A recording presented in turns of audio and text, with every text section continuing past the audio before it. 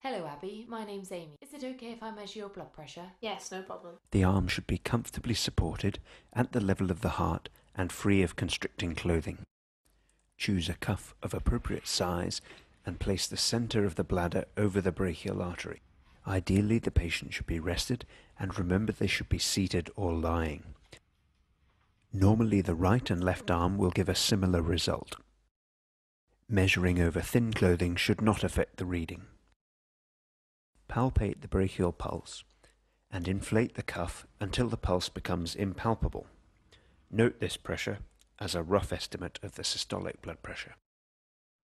Inflate the cuff by a further 30 millimeters of mercury and then listen with the diaphragm of your stethoscope over the brachial artery. There should be silence initially and begin to deflate the cuff by 2 to 3 millimeters of mercury per second.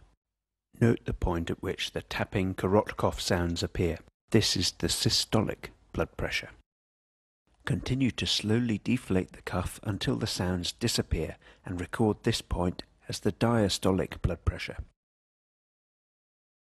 More detail about the Korotkoff sounds can be found in the textbook. Thank you.